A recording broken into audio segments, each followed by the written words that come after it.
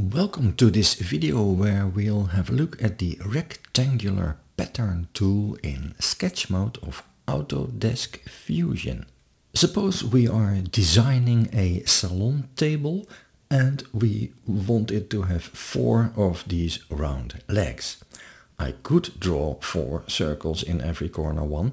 I can also make use of the create pattern and let's have a look. Rectangular pattern. We can now select the objects that we want to pattern. In our case it's just this circle. And we see two arrows pop up. Let me click and hold and drag. And look what happens. A pattern creates.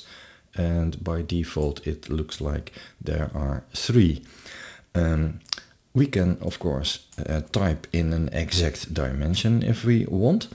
And we can also change this number over here. And look what happens, we get a couple more. If I click this arrow, then this uh, box is controlling that direction. Oh, that box jumps around. Yeah, that I, I, I found out that it does that all the time. We also have the complete menu over here and we can also give the number of repetitions over here. Also an interesting one is this distribution drop down. It is now on spacing, which means the number that is given here, let me make it exact 20 millimeter, that is the space between every instance. We can also put it on extend and that means it is now the total distance of the between the first and the last iteration. If I change the number of um, iterations, uh, we see that it uh, keeps the distance between the first and the last intact and it adds more of those in between.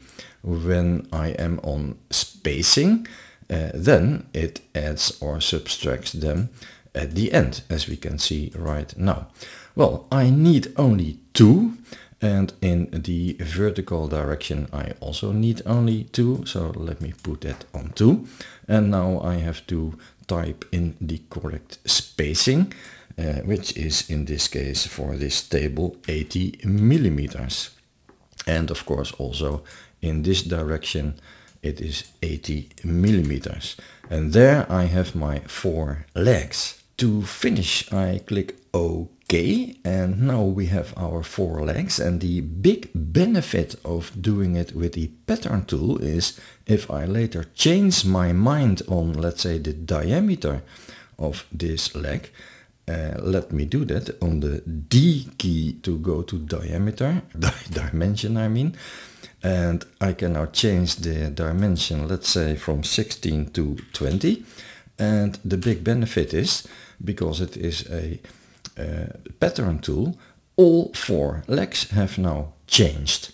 In case you may want to change only one of the four legs, I don't see a reason in this case to do that, but just for fun, then you can now take away, and let me hit escape, take away this pattern uh, tool, just click on it and delete it, and now the pattern is released and I could give this one uh, another dimension as, let's say, the only one, the only odd one out.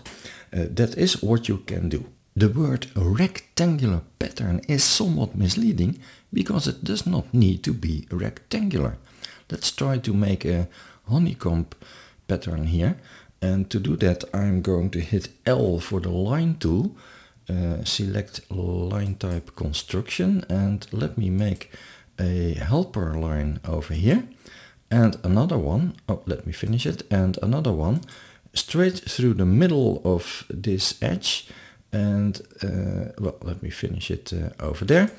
And now I have two helper lines and those are going to be my pattern lines.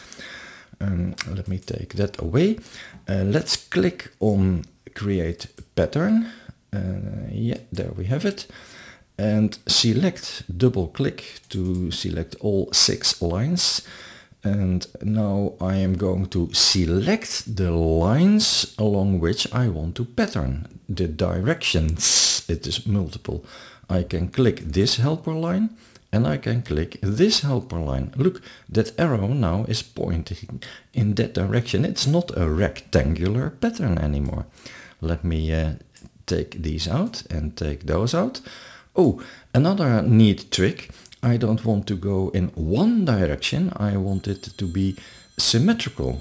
That is easily done by this direction drop down. We can do it for both the directions. Uh, let's, me, let's put both on symmetrical.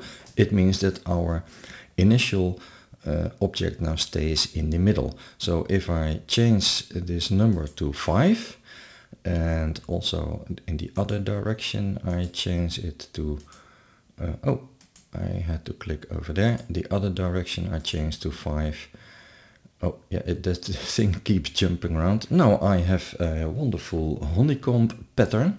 And there's one other thing that we can do. Uh, I'm, I'm quite uh, anal about these uh, dimensions. Let, it put, let me put it exactly on 24. One other thing we can do, we see here a suppression tick mark. Uh, we can click it.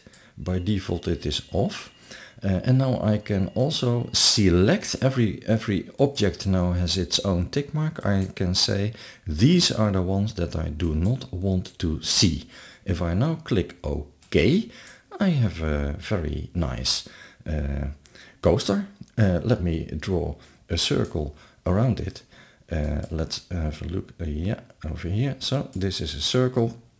And if I finish my sketch now, uh, this is, let me go to top view. This is a, a very nice coaster and all I have to do is right click on my sketch, save it as a DXF file and I can go straight to my laser cutter and cut this as a coaster.